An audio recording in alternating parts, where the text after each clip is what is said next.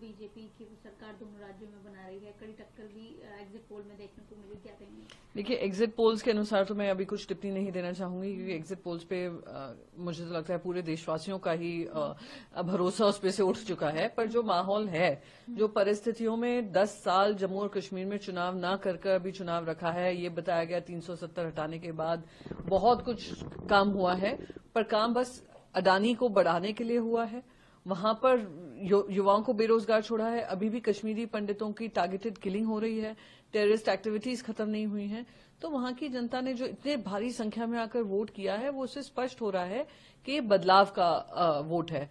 और India alliance बकायदा वहाँ पे सरकार बनाएगा। वही हरियाणा में हमने देखा। किस तरीके से जो उनके चुने हुए एमएलए हैं, मंत्री हैं, उनके गाँव वाले उनको भगा रहे थे, उनसे कह रहे थे, आपको आकर प्रचार करने की ज़रूरत नहीं है। तो स्पष्ट है कि जो माहौल बन रहा है, उसमें इंडिया अलायंस अच्छा काम करेगी, पर भारतीय जनता पार्टी उस उम्मीद में बैठी होगी कि कहीं ना कहीं लोग उनको माफ़ करेंगे, पर अब वो माफ़ करने वाले नहीं है। उन्होंने लोकसभा में भी दिखाया, और अब इन राज्य चुनावों में भी दिखाएँगे, महाराष्ट्र में भी दिखाएँगे, झारखंड में भी दिखाएँगे।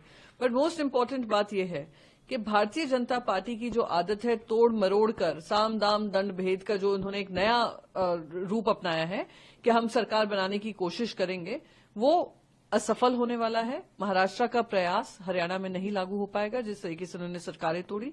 यहाँ पर बहुमत से सरकार आएगी, इंडिया गठबंधन की आएगी, और हम लोग वहाँ पे सरकार बनाएँगे। मैम, पश्चिम बंगाल में जो कोल का